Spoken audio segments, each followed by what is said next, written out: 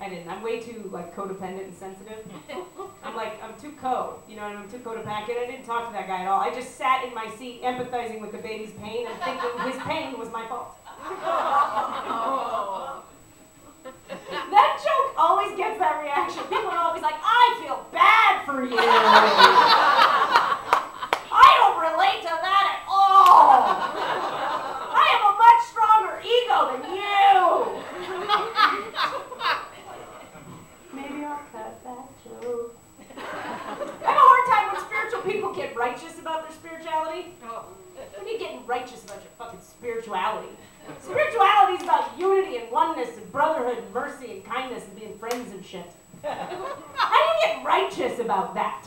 Like my unity and oneness and mercy is better than your unity and oneness. Fuck you, dumbass. You're kind of fucking missing the fucking point.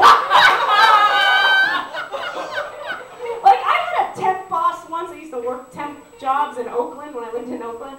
I had a tech boss once who said these words to me. He said, well, first he said to me that his teacher, his spiritual teacher, was an enlightened being.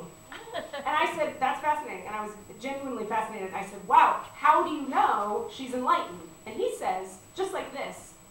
Well, you see, Katie, the fact that you asked that question really just shows where you are on the path.